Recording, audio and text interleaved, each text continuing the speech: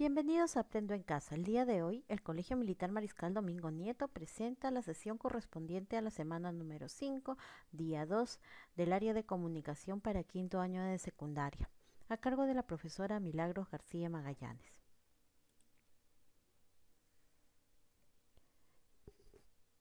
El título de la sesión es Nuestras recomendaciones para cuidar la tierra. Recuerda que en el día 1 ya comenzamos a trabajar esta sesión las competencias y capacidades que vamos a desarrollar en estos días de trabajo.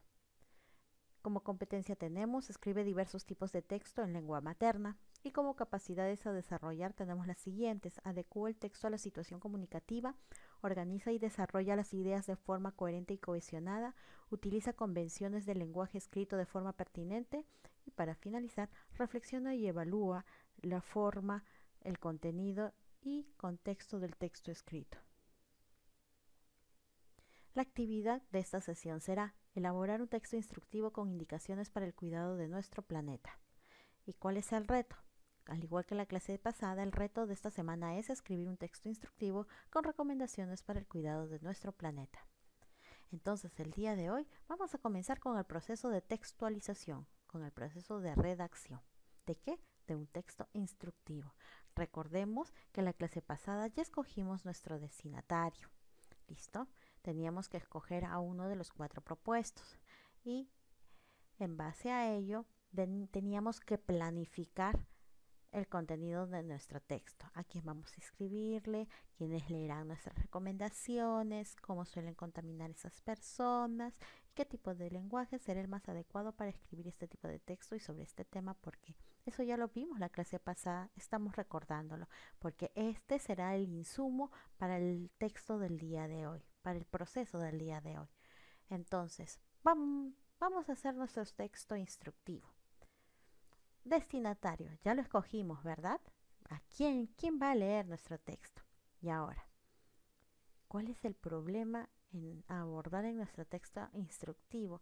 Nuestro texto instructivo hablará sobre las recomendaciones que debemos de tener o que debe de tener nuestro destinatario para el cuidado de la tierra, las recomendaciones que nosotros le brindamos a este destinatario, teniendo en cuenta el contexto, es decir, cómo suelen contaminar. ¿Listo? Estos destinatarios. La actividad entonces es escribir. ¿Listo? ¿Qué cosa? El texto instructivo.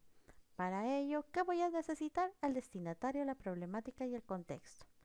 Cuando ya tengas tu primer borrador, recuerda que este, este borrador, este primer texto, siempre debe de tener título. No, 2.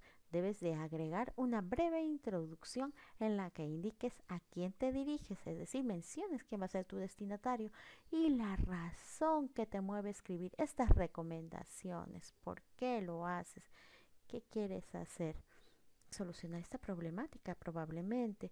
También recuerda que como es un texto instructivo, debemos de dar instrucciones, enumerar paso a paso, nombrarlo en primer lugar, en segundo lugar, en tercer lugar.